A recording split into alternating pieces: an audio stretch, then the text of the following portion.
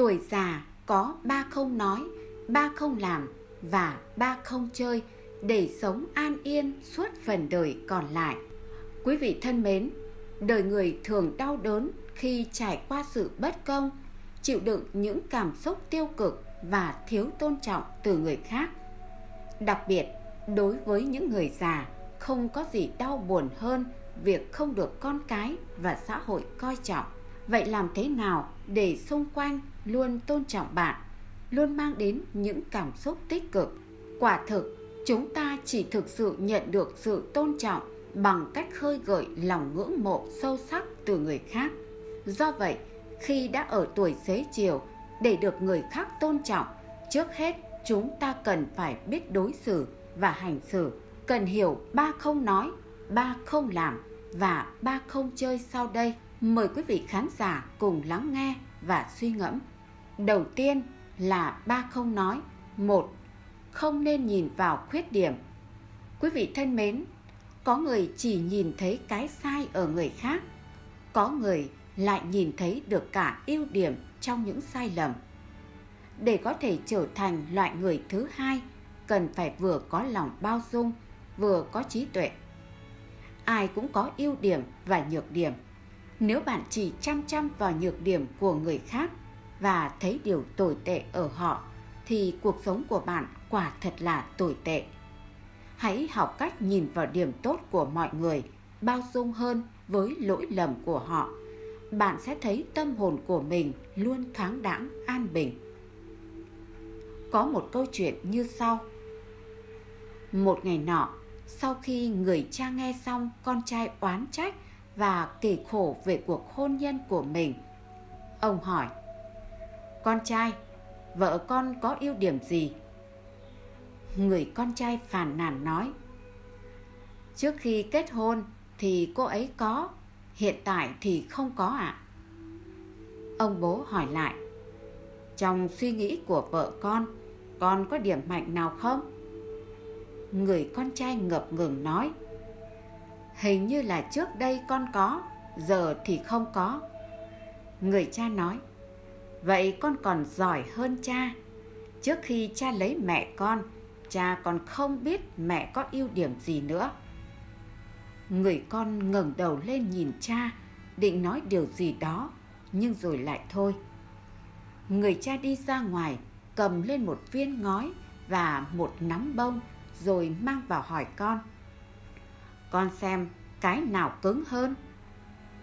Người con trai không biết cha muốn làm gì nhưng vẫn trả lời. Cái này mà cha còn phải hỏi, tất nhiên là ngói cứng hơn. Người cha không nói gì, ông cầm viên ngói và nắm bông lên cao, rồi thả tay ra.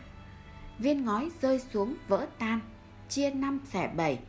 Còn nắm bông thì không vấn đề gì cả. Người cha hỏi con, tại sao cứng thì nát, còn mềm mại thì lại không bị sao? Người con suy nghĩ nói, chắc vì bông mềm mại nên nhẹ, do đó không bị làm sao.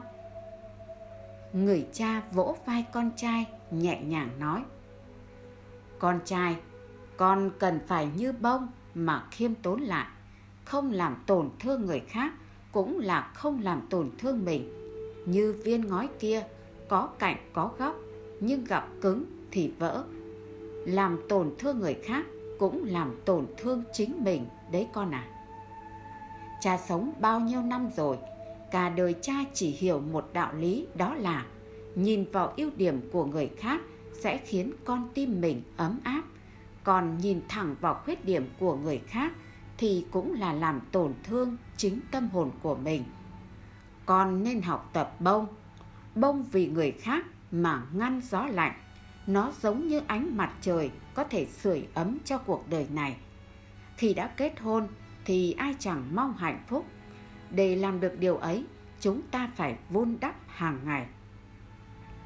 Con trai, lời khen là một bảo bối.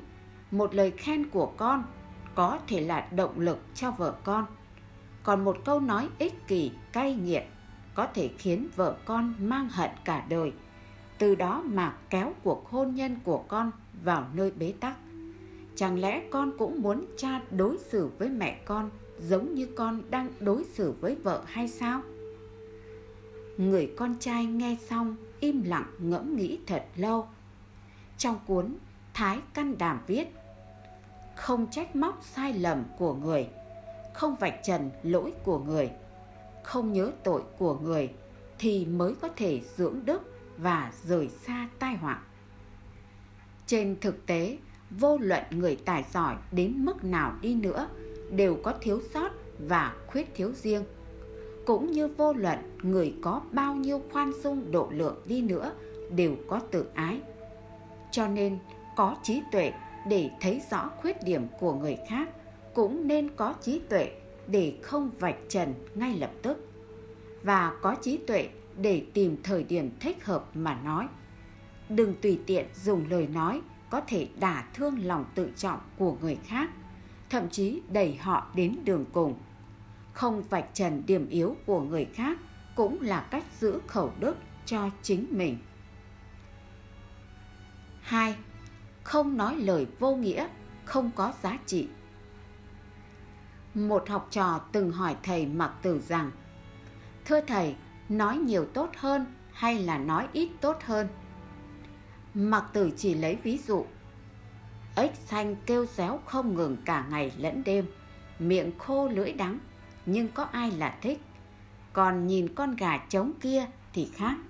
Cả ngày chỉ gáy hai ba tiếng sáng sớm, mọi người bị đánh thức còn phải cảm ơn nó nữa kìa. Người không nói lời vô nghĩa thường là người có lực kiểm soát, khống chế bản thân rất mạnh. Mỗi lời, mỗi tiếng của họ đều hiểu được phải sáng tỏ, rõ ràng, lời ít ý nhiều, ai cũng phải công nhận. Cho nên, nói lời đừng nên nói lời vô nghĩa, nên nói vừa phải, đúng lúc, đúng chỗ và đúng người mới đạt được những giá trị cao và cần thiết. 3 không tự khoe khoang về bản thân đã đi qua những ồn ào náo nhiệt của tuổi trẻ. Khi bước vào tuổi xế chiều chúng ta nên học cách sống kín tiếng. Việc thường xuyên tự khoe mẽ không chỉ khiến chúng ta đánh mất giá trị của bản thân mà còn là nguồn cơn của tai họa đấy. Có thể ít người biết rằng một người khiêm tốn hay tự cao sẽ quyết định hạnh phúc của chính họ. Làm người sống trên đời, điều cấm kỵ nhất chính là tự mãn với năng lực của bản thân và phô trương những thứ mình có trước mặt mọi người. Danh vọng và tài sản chỉ là những điều phù phiếm không thể theo ta đến cuối đời, cũng không thể khoe mẽ suốt đời.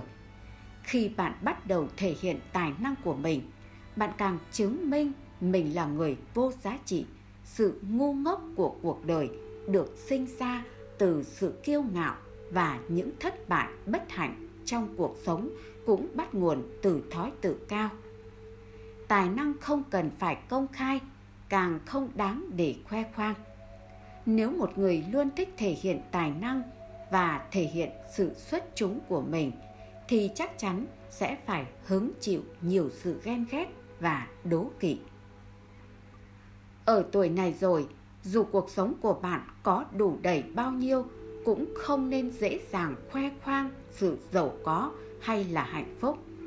Bởi vì người ta càng phô trương bản thân thì càng dễ thu hút sự bất bình, bất mãn và càng dễ đánh mất những gì mình khoe ra.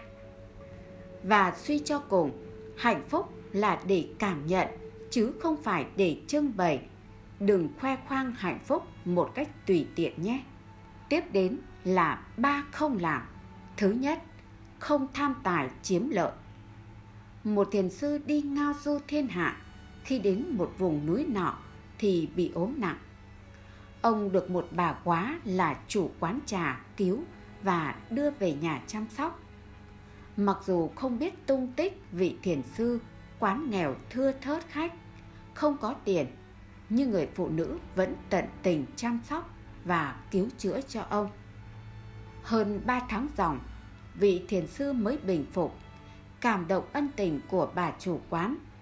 Vị thiền sư trước khi rời đi, dành một tuần liền để đào một cái giếng cạnh quán cho bà quá tiện dùng nước, không phải ra tận suối gánh nữa.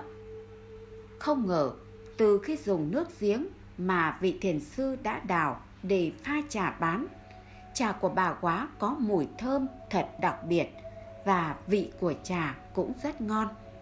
Ai uống một lần cũng phải quay lại. Tiếng lành đồn xa, quán trà của bà quá khách đến đông nườm nượp người đàn bà quá trở nên giàu có từ đó. Ít lâu sau, vị thiền sư có dịp ghé qua quán để thăm lại ân nhân của mình. Thấy cơ ngơi khang trang, vị thiền sư rất mừng cho bà quá. Khi hỏi về giếng nước, bà quá than phiền với thiền sư. Giếng nước này tốt lắm, có điều nước cạn liên tục, vài ngày mới lại đầy, nên tôi chẳng bao giờ đủ để bán cho khách. Vị thiền sư nghe xong lắc đầu nói Không tốn kém gì cả Từ nguồn nước trời cho rồi kiếm ra nhiều tiền mà bà vẫn không thấy hài lòng ư? Ông viết lên tường một câu Trời đất bao la Nhưng lòng tham của con người còn mênh mông hơn thế. Rồi lặng lặng quay đi Không bao giờ quay trở lại quán nữa. Giếng nước tử ấy cũng cạn dần. Thưa quý vị, chúng ta phần lớn giống như bà quá kia, không bao giờ hài lòng với chính mình mà còn thường đứng núi này trông núi nọ. Chúng ta thường hay so sánh hay mong ước quá viển vông mà quên đi vui hưởng với hiện tại của mình. Cũng không biết san sẻ, không biết cho đi hãy nhìn lại để thấy mình đã được may mắn hơn bao nhiêu người để biết vui sống để bớt lòng tham vì thai nhân một chút thứ hai không so sánh bản thân với người khác.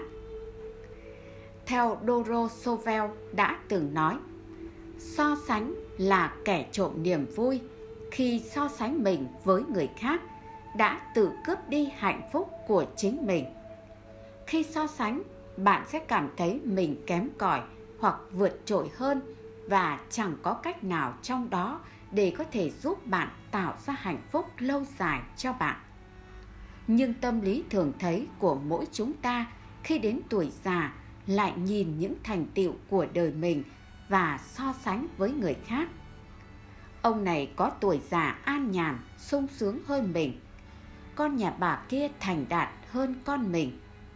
Thực ra, việc tự đặt mình và người khác lên bàn cân vốn đã không đem lại lợi ích gì, mà nó càng chứng tỏ bạn là người không biết trân trọng những gì đang có.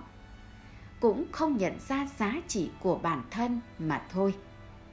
Trong cuộc sống, đã có không ít người vì quá so đo tính toán thích bản thân bằng bạn bằng bè của mình ở những khía cạnh không thể từ đó sinh ra thất vọng và lo âu cũng có những người cả đời luôn vui vẻ lạc quan vì họ biết trân trọng cuộc sống này không so đo tính toán thiệt hơn mà chậm rãi hưởng thụ một cuộc sống bình yên, nhẹ nhàng. Vì thế, hãy ngưỡng mộ cuộc sống của người khác, thay vào đó là học cách cảm thấy đủ với chính mình để cảm nhận hạnh phúc đích thực nhất. Nếu như thật sự phải so sánh, thì hãy nhìn lại chính bản thân mình, đối chiếu với ngày hôm qua tự nhìn nhận sự phát triển năng lực của bản thân và chất lượng cuộc sống của bạn. Đó vẫn là điều quan trọng, cần so sánh để không ngừng tiến bộ. Thứ ba, không làm hại người khác. Tâm đố kỵ như diệu độc hại người cũng là hại chính mình. Làm người cần phải biết tôn trọng và độ lượng với kẻ khác khi thấy người khác có điều tốt, nên vui mừng. Thay cho họ thấy người khác hơn mình, nên học hỏi nhiều hơn. Khi người khác cần sự giúp đỡ, cần tận tâm, tận lực cứu giúp. Muốn lòng dạ đủ rộng rãi và độ lượng, nhất định không thể nảy sinh ý định làm hại người khác. Có như vậy, người khác mới cảm thấy sự chân thành, chân chính của ta mà đối xử thiện đãi tiếp theo là ba không chơi. Thứ nhất, không chơi với người bất hiếu, kẻ vô tình. Người xưa có câu chăm thiện lấy chữ hiếu làm đầu, bởi hiếu là cái gốc của nhân cách, là thứ đạo của trăm vạn đức tính. Nếu một người ngay đến bố mẹ thân sinh của mình còn đối xử không tốt, vậy ta sao có thể đặt hy vọng họ có thể hết lòng với bạn bè được đây. Những người hờ hững vô tình, lòng dạ sắt đá, lạnh lùng, băng giá. Kiểu người như vậy tuyệt đối đừng kết giao. Thứ hai, không chơi với người chỉ biết tư lợi vì mình. Tính cách tư lợi khiến họ không nhìn thấy những gì người khác bỏ ra, mà chỉ chăm chăm để ý đến cái được mất của mình đặt lợi ích bản thân vượt trên hết thảy loại người như vậy sẽ chỉ biết lợi dụng người khác, thậm chí vì lợi ích mà sẵn sàng bán đứng cả thân nhân, bạn bè. Trong cuộc sống, nếu giao du với loại người này, bạn sẽ mãi là đối tượng bị bòn rút để thu lợi nhiều hơn. Thứ ba, không chơi với kẻ bất tín làm người phải có tôn nghiêm, phải giữ nhân cách và chữ tín của mình. Với những kẻ vì tiền bạc, quyền lực mà sẵn sàng thay đổi nguyên tắc làm người, thì dù cho có kết giao, bạn cũng mãi chỉ là một viên đá lót đường trong công cuộc tiến thân của họ mà thôi. Giống như khổng tử đã nói, nhân vi vô tín, bất chi kỳ khả giã. Nghĩa là người không có chữ tín sẽ chẳng làm chi nên việc. Đã nói sao thì phải làm vậy, cũng như đã mở miệng là phải giữ lời. Không thể lúc thì thế này, lúc lại thế khác. Sẽ khiến đối phương rơi vào tình thế khó xử, đồng thời đánh mất niềm tin tưởng, sự tôn trọng cần có giữa đôi bên.